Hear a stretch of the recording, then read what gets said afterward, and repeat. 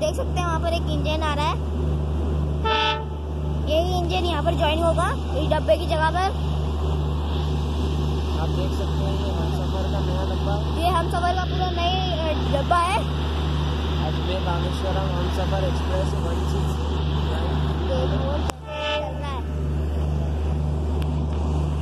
train अभी आ रही है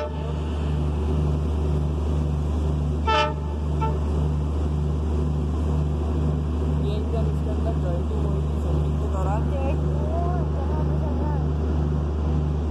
आप हमारी आवाज़ ढंग से सुन नहीं पा रहे क्योंकि यहाँ पर दरअसल एक जनरेटर चल रहा है। जनरेटर कार के पास ही खड़ा है। आप देख सकते हैं। डीजल इंजन आ रहा है यहाँ पर।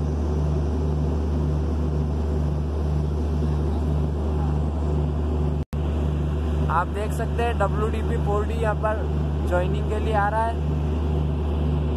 और अभी हम आपको पूरी ज्वाइनिंग दिखाएँगे इसी के साथ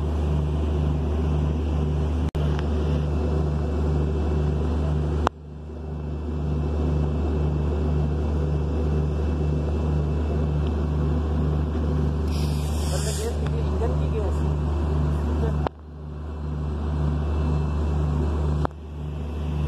ये जो डब्बे हैं एक्सप्रेस के, ये 160 किलोमीटर पर आवर की स्पीड से दौड़ सकते हैं मैक्सिमम स्पीड है इसकी।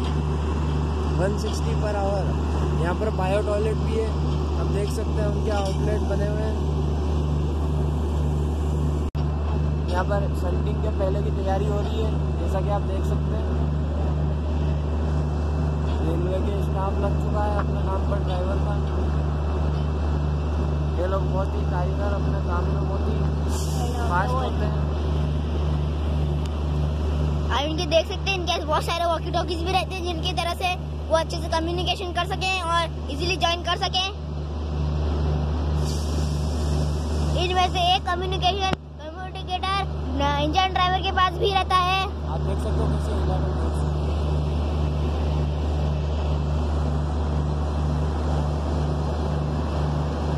पीछे आएगा वो पीछे आएगा आप देख सकते हैं इंजन डब्बे के बहुत पास आ चुका है और ज्वाइंटिंग के लिए तैयार हो चुका है। ये इंजन भगत की कोठी का है, जो कि जोधपुर के पास ही है।